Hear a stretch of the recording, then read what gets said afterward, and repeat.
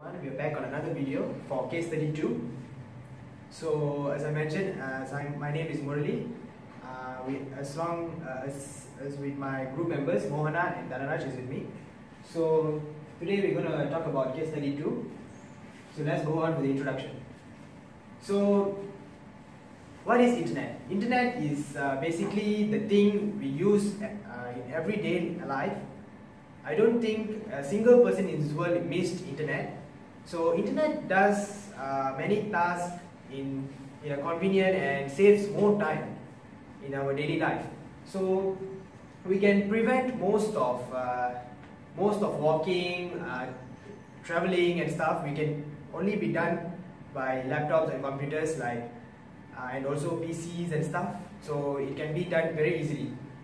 Uh, many good things can be done in the uh, PCs as well, but it also have some disadvantages and also bad things can be uh, can happen in our in our PCs and computers. So let's see any examples of that. So malware. Malware is a category of uh, uh, of a virus, or you can tell about is a thing. It's a spyware. So in the example spyware.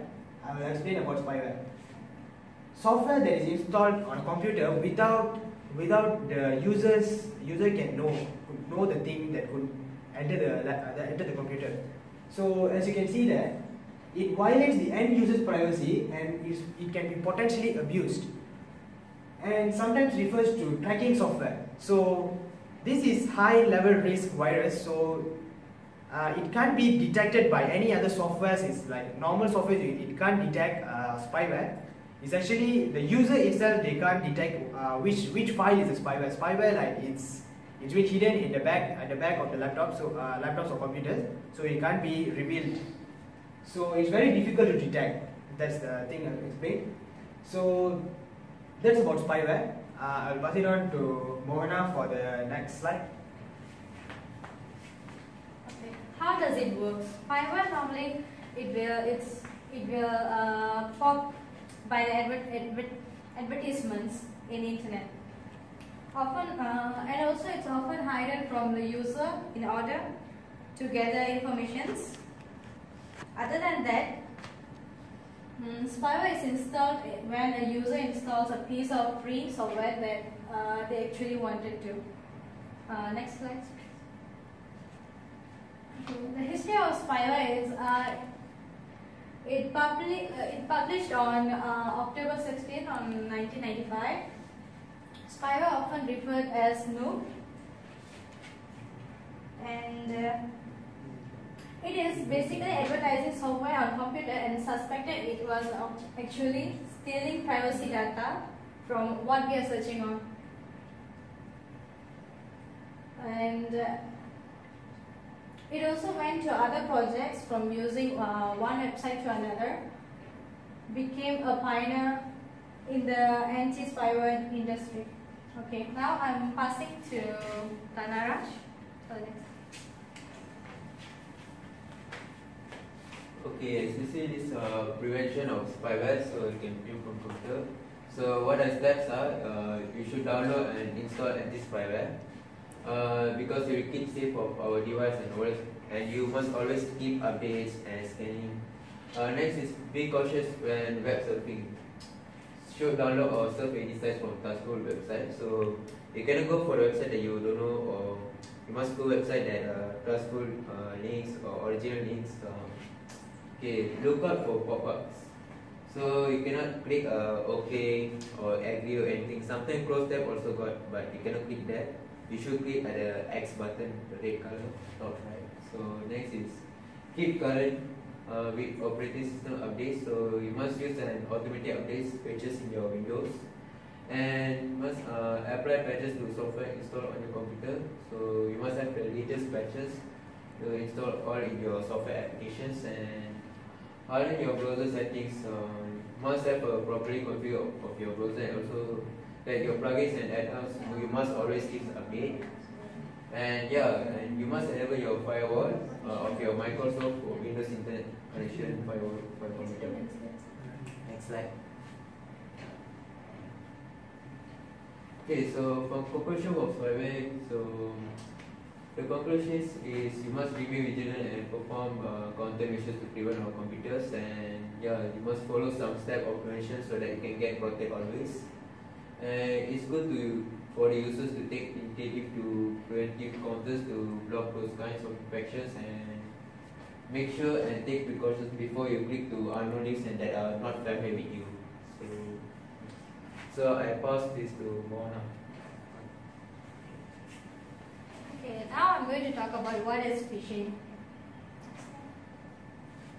Okay, phishing sounds like phishing, right? Yeah, it's something like a bait for uh, the users to users by the hackers to get the data from what we are uh, search on, like what our data, such as um, our usernames, ID, and uh, credit card details.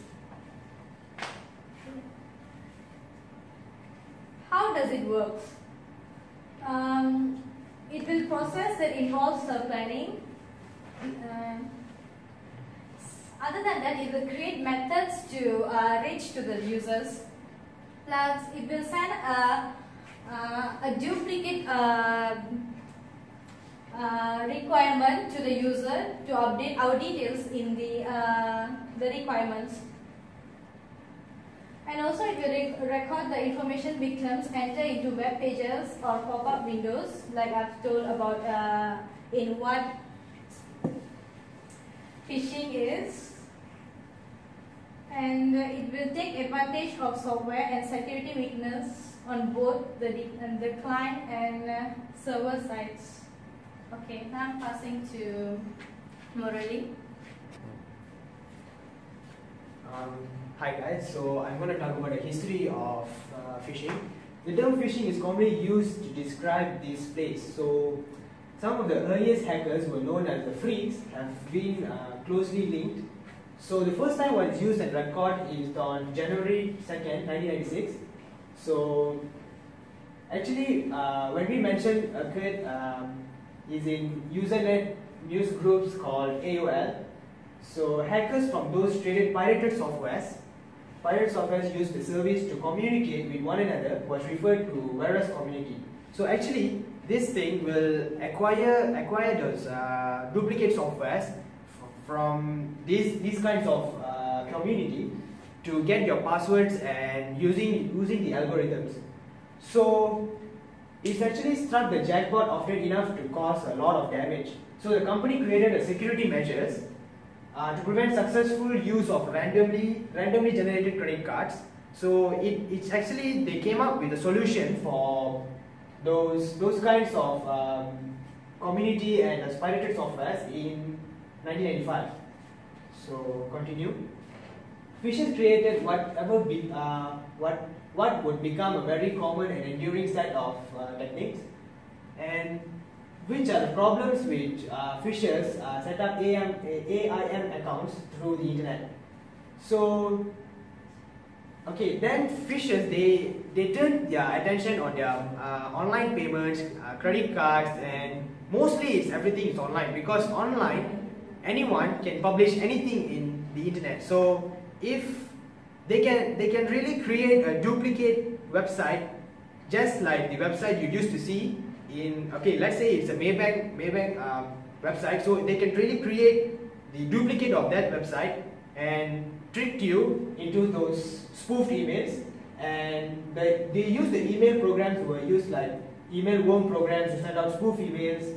They fake emails and and they they they literally uh, take your personal information and sensitive information, mainly your credit card numbers, your your names, your IC numbers, and stuff, more stuff like that. They they actually uses the, use these emails kind of programs and acquire your sensitive information from the victims.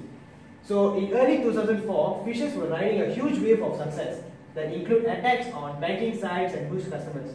So these pop-ups on Windows, the you you usually when you connect to internet, the windows will be like popping up like advertisements and stuff. That's the main thing. That's that's the thing they will get your your useful information. Even though you didn't even key in your anything, the online the online the um, you mean the phishing, it will be like entering your your personal uh, information in your computer and taking over I think your uh, main information from you. So that's it from me.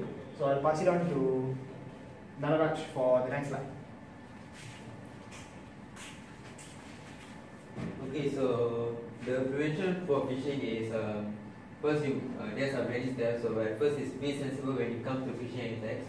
So before you do something, um, so you must be smart, uh, be sensible and smart while browsing online and checking your emails.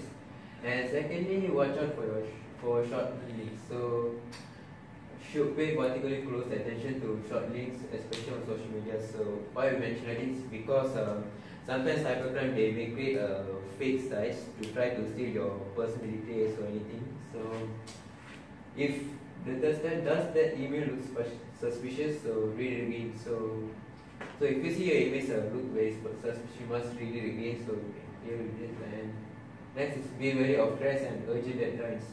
So yeah, you must ignore your the scare tactics and contact the company separately. You are known for trust channel. And last one is browse secretly with HTTPS. So use a secure website to browse, especially when submitting personal information by online. So yeah, you cannot use any links that never start with this words HTTPS. Next slide. Okay, conclusion for phishing. So, so the conclusion are you must be careful and perform uh, countermeasures to pre- prevent your data from being hacked.